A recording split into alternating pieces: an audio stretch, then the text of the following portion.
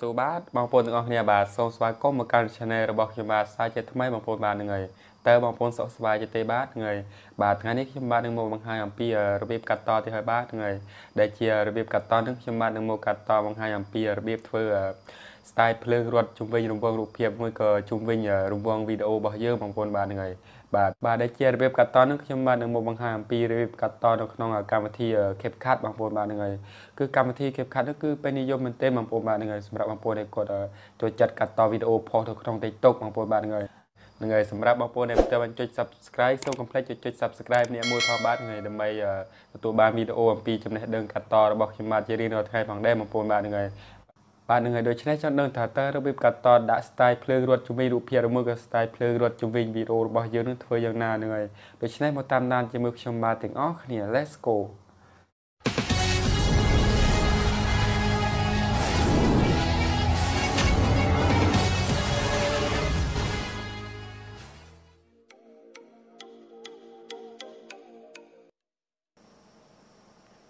បាទតើមកបងប្អូនចូលក្នុងកម្មវិធី CapCut នេះមក សម្រាប់កម្មវិធី CapCut នេះបងប្អូនអាចចូលទៅ download ក្នុង Play Store គឺ download free ទេបងប្អូនបាទហ្នឹងហើយបាទគឺពិតជាល្អប្រើមែនទេបងប្អូនបាទសម្រាប់កម្មវិធីកាត់តមួយនេះបាទបាទអូខេបន្ទាប់មកបងប្អូនចុចកន្លែងសញ្ញា label នេះមកដើម្បីយើងទៅជ្រើសរើសយកជាប្រភេទរូបភាពឬមួយគឺជាលក្ខណៈប្រភេទវីដេអូបងប្អូនបាទហើយបាទគឺកន្លែងនេះគឺជាប្រភេទវីដេអូបងប្អូនបាទតែខ្ញុំបាទយកជាប្រភេទរូបភាពបងប្អូនបាទហ្នឹងបាទ បាទសម្រាប់រូបភាពនេះខ្ញុំបាទនឹងជ្រើសរើសយកចំនួន8រូបភាពបងប្អូនបាទហ្នឹងបាទសម្រាប់យកទៅកាត់តបងប្អូនបាទហ្នឹងបាទអូខេបាទចំនួន8រូបភាពបាទបាទហើយបន្ទាប់មកបងប្អូនទៅជ្រើសរើសយកភ្លេងហ្នឹងហើយហើយបងប្អូនចុចកន្លែងនេះមកហ្នឹងហើយ បាទបន្ទាប់មកបងប្អូនចុចមួយទៀតមក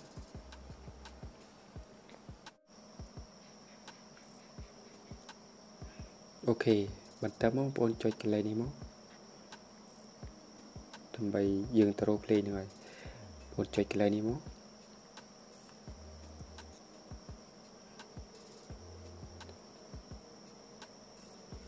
បាទអូខេនេះជាភ្លេងរបស់ខ្ញុំនឹងហើយខ្ញុំនឹងចុចកន្លែងនេះមកបងប្អូនចុចកន្លែង ភ្លេងនេះមកហើយបងប្អូនចុចកន្លែងសញ្ញា label នេះមក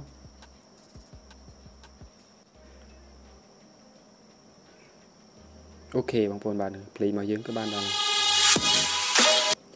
បាទនឹងហើយសម្រាប់រូបភាពទី1ខ្ញុំបាទនឹងយក1.5នឹងហើយបាទ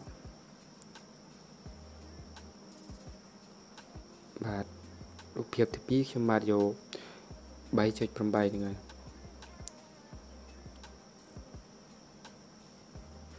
អូខេសម្រាប់រូបភាពអឺទី3ខ្ញុំបាទយក2.4ហ្នឹងហើយអូខេបាទសម្រាប់រូបភាពទី4ខ្ញុំបាទយក3.0ហ្នឹងហើយបាទរូបភាពទី5ខ្ញុំបាទយក2.1ហ្នឹងហើយបាទសម្រាប់រូបភាពទី6ខ្ញុំបាទយក2.7ហ្នឹងហើយអូខេ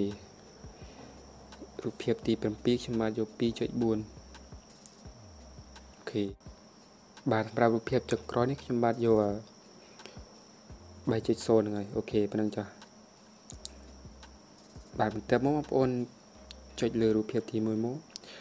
ហើយបងប្អូនចុចកន្លែងនេះមកអូខេបន្ទាប់មកបងប្អូនចុចកន្លែងនេះមក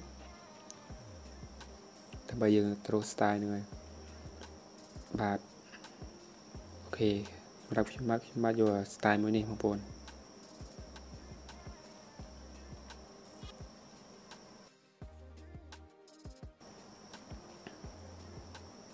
បាទហ្នឹងហើយបងប្អូនអូវាស្មើមកអូខេ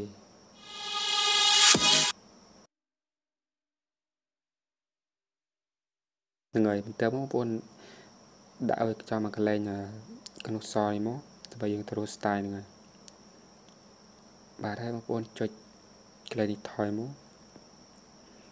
ហើយបងប្អូនមើលកន្លែងនេះបាទគឺដូចសញ្ញាផែនដីនេះបបងចុចលើមកបាទបន្ទាប់មកបងយកអសមួយនេះមកអូខាងលើមកបាទនេះគឺ style មួយនេះបងប្អូន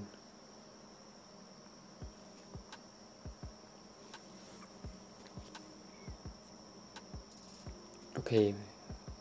បងព្រីក៏បានហ្នឹងហើយថ្ងៃខ្ញុំយកប៉ុណ្្នឹងចាស់ទីគ្រីមកអូខេបន្ទាប់មកបងចុចថយមីមកបងចុចថយមួយទៀតមកបាទគឺបងមើលកលេបកាយនេះចុចកលេបកាយមក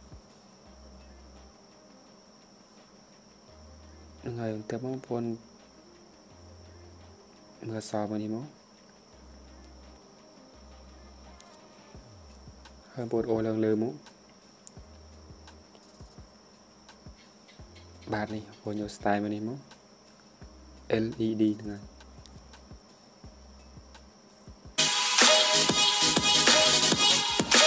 អូខេបងចុចគ្រីមក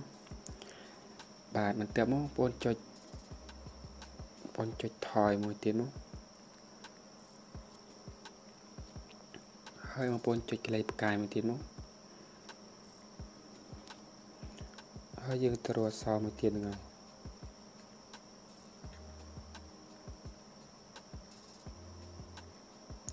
ហើយបងប្អូនមើលអសមួយនេះមក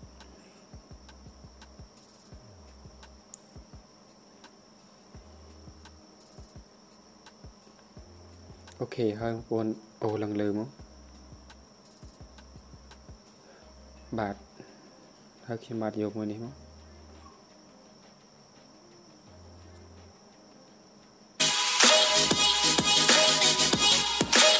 អូខេចុចគ្រីសមក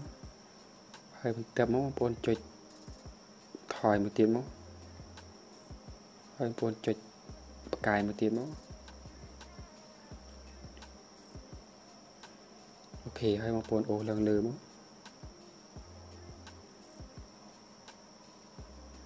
បាទហើយបងប្អូនយក style មួយនេះមួយទៀតមក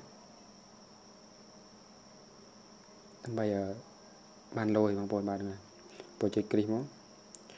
អូខេហើយបងប្អូន play មក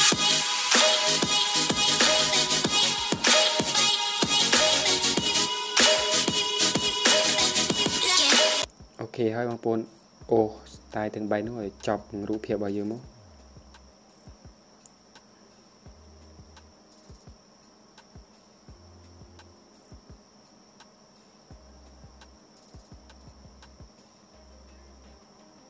អូខេប្រូមកខ្លៃទីមកហ្នឹងហើយដើម្បីងាយស្រួលបើយើងអូស្រួលហ្នឹងហើយបាទអូខេប៉ុណ្្នឹងចាស់